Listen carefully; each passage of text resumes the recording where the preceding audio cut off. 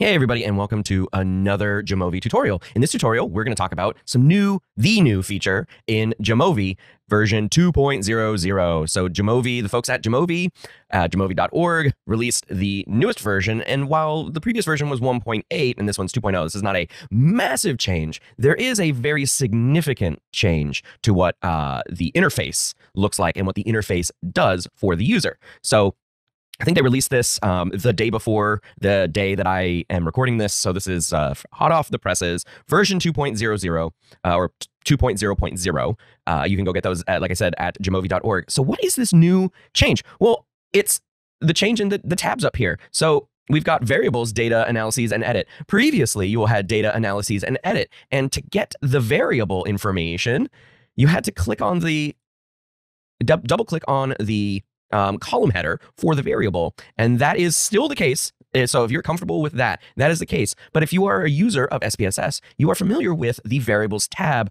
on the data. So you can either switch from data view or you can switch to variable view. And variable view, much like now this new tab, makes the variables rows.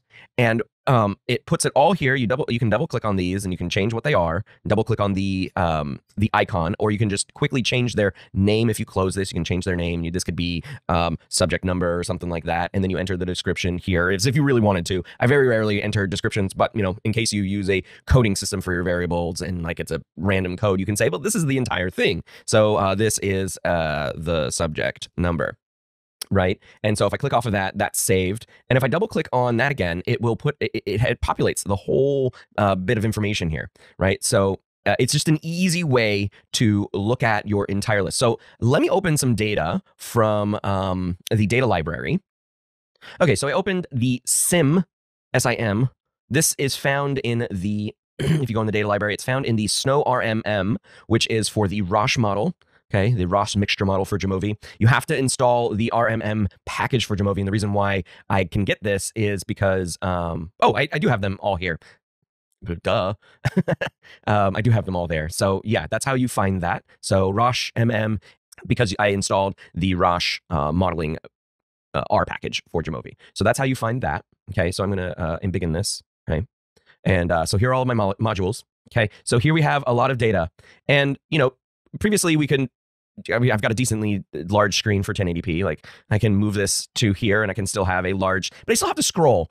Eh, you know, scrolling's not as fun, right? So if I need to find a variable and I'm just trying to search up here and I'm like, ah, I don't know where it is, well, then we can go into variable view and there they all are. And I can still, I mean, I don't have to, but you know, I can move this back and forth and keep it going. And so here I have all of my variables.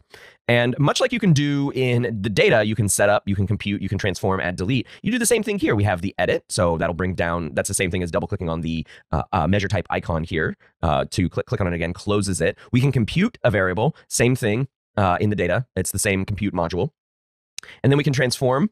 Okay, we can do the same transformation kind of thing that we can do in in the data tab. Um, and then we can add delete and then we can do filters. And the filters are by rows because all of the variables are now by rows, which is um which is awesome. So like I said, it's not a huge change, but it does change the way Jamovi um, adds to its usefulness, we'll say. We'll, we'll say that. So it, it just makes it, it's just another uh, ease sort of thing where you don't have to worry too much about um, finding how to do something because it's literally right there staring at you in the face. And so that is how you use the new variables tab in Jamovi. If you have any questions or comments or feedback, please leave, please leave that down in the comment section below. Thank you for watching this video. Uh, please leave a like or subscribe if you feel like it. Thanks for watching. Bye.